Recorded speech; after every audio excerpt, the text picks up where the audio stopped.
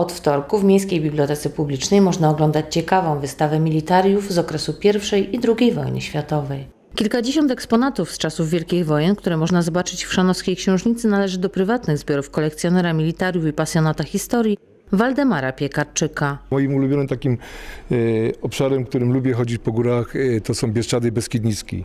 I tam właśnie bardzo często można znaleźć jeszcze ślady tej pierwszej wojny światowej, drugiej wojny światowej.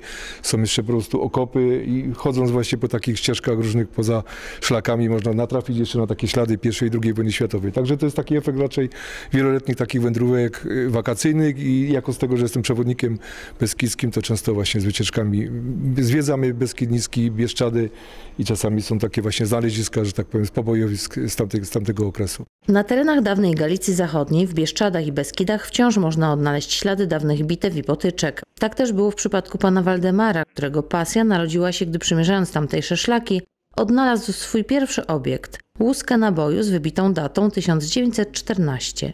Dziś, wiele lat później, jego bogate zbiory liczą kilkaset eksponatów, od fotografii po niemieckie działka przeciwlotnicze i ciągle się powiększają. Jak sam podkreśla, nawet za najmniejszym, najbardziej niepozornym przedmiotem z tamtego okresu kryje się ciekawa historia.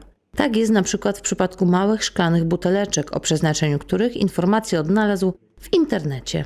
Się okazało, że takie buteleczki były właśnie yy, na spirytusie robione dla węgierska. Tam, potem się okazało, że tam rzeczywiście walczyły oddziały węgierskie yy, Honwedów i on to służyło do nacierania się. Oni leżeli w zimie, tam mieli odmrożenia, więc po prostu to było na spirytusie, podejrzewam, że było rozgrzewanie, było zewnętrzne i wewnętrzne, ale w każdym razie jest to taki właśnie ciekawy przykład, że, że właśnie, że można taki ślad znaleźć. Na wystawie można także zobaczyć broń z okresu I i II wojny światowej. Bagnety, saperki, hełmy, manierki czy puszki amunicyjne. Na ekspozycji można również zapoznać się z najpiękniejszymi cmentarzami wojennymi, które znajdują się na terenie dawnej Galicji Zachodniej, m.in. w Sękowej, Lubczy, Jodłowej czy Sieklówce.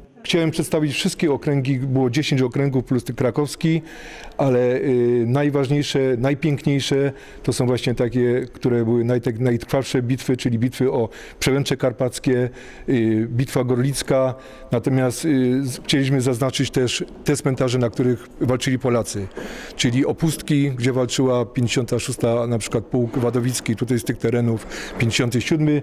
Będzie też troszeczkę o Łowczówku, gdzie walczyły Legiony Polskie i powiemy tam, dwa słowa chciałem powiedzieć też o cmentarzach pierwszowojennych w Chrzanowie. Co ciekawe, na cmentarzach wojennych z I wojny światowej w Galicji Zachodniej żołnierze obu walczących stron zostali pochowani obok siebie, na tych samych nekropoliach, co jest ewenementem na skalę europejską. Większość z tych cmentarzy zostało pięknie odnowionych i stały się miejscem, które chętnie odwiedzają pasjonaci historii.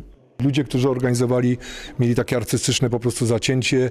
Wszyscy ci żołnierze tutaj, wszyscy ci, którzy byli, kierowali tym Wydziałem Grobów Wojennych, to byli po, po prostu raz, że byli żołnierzami frontowymi, więc potrafili się y, po prostu tę atmosferę tych cmentarzy oddać, a po drugie wszyscy mieli jakieś wykształcenie artystyczne, dlatego te cmentarze są takie piękne i, i tak wkomponowane y, w, w, tą, w, y, w tą, tą, ten krajobraz.